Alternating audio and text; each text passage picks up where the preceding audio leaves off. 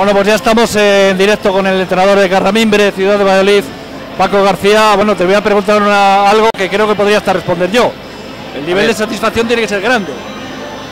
Bueno, comedido, yo creo, ¿no? Eh, es un poco lo que decíamos ayer. No vale para ninguna clasificación estos resultados, pero, pero vale para mucho. Vale para mucho, vale para, para nuestra afición, vale para que la prensa creáis en lo que estamos haciendo, vale para que nuestros eh, jugadores vean que, los conceptos que estamos trabajando nos llevan a un buen puerto, a un buen final. Entonces, hombre, contento, satisfecho, pero bueno, comedido también porque, insisto, esto lo único que hace o que nos tiene que hacer es llevarnos a, un buen inicio de campeonato. Ese es el gran objetivo. Hablaba yo con ahora, tanto Valladolid como Cáceres, dos equipos, me decía él, lógicamente no tanto por presupuesto, pero sí por prestigio, luego Valladolid. Cáceres llamados a estar más arriba, vamos a ver cuándo, ¿no?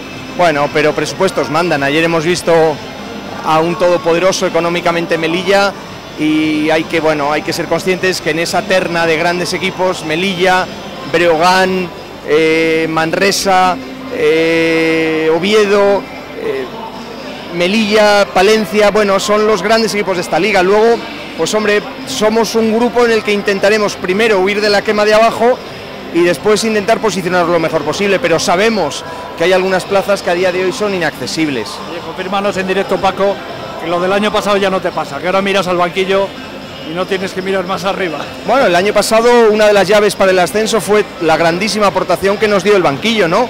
Eh, jugadores como Pablo Esteban o como Dani Astilleros lo que, lo que hicieron, lo que ayudaron para que el equipo estuviera, estuviera donde estuvo al final de temporada.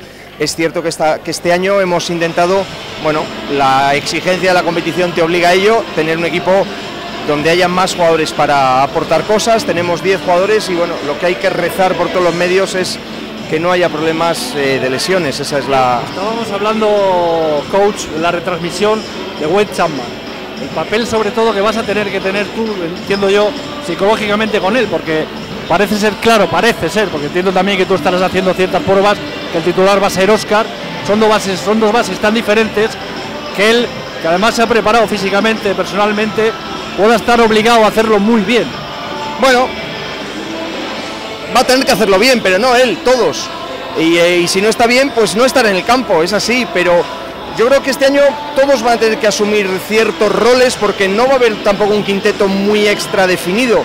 No, y Way tiene que entender que este año un jugador como Alvarado que conoce la liga le puede ayudar mucho a que él la conozca. Él desconoce a todos los jugadores contra los que se enfrenta, los desconoce porque son jugadores de Leboro. Entonces él tiene que pasar ahora el sarampión de aprendizaje que lo pasó el año pasado también, quitar los morritos y ponerse a jugar y a dar rendimiento, es lo que tiene que hacer. Lo que no hay duda es que estos resultados abultados o no, de pretemporada, la afición lo ve, nos escucha, lo lee en el periódico y le llama la atención la ilusión, seguro.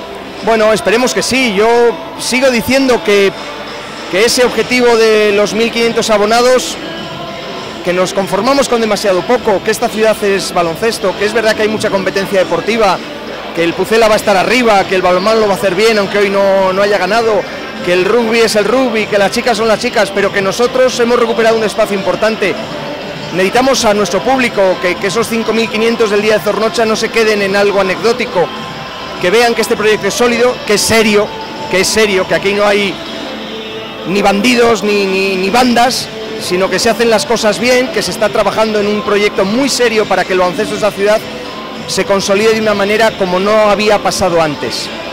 Y ahora Oviedo y Palencia para que no se relaje nadie.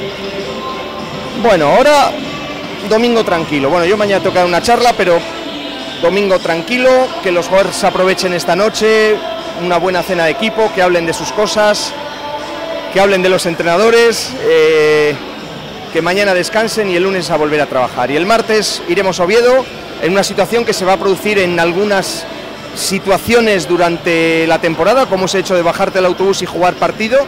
Y lo que queríamos cuando diseñamos la pretemporada era esa, eh, buscar situaciones que luego nos vamos a encontrar en, temporada, ¿no? Como es el hecho de, de bajarnos en autobús y tener que afrontar un partido de liga. Lo vamos a hacer el próximo martes contra Oviedo, contra uno de los grandes de la liga, y bueno, pues a intentar seguir esa progresión, sin preocuparnos tanto del resultado, sí de nuestras cosas hacerlas bien. De acuerdo, muchas gracias, coach. Venga, gracias.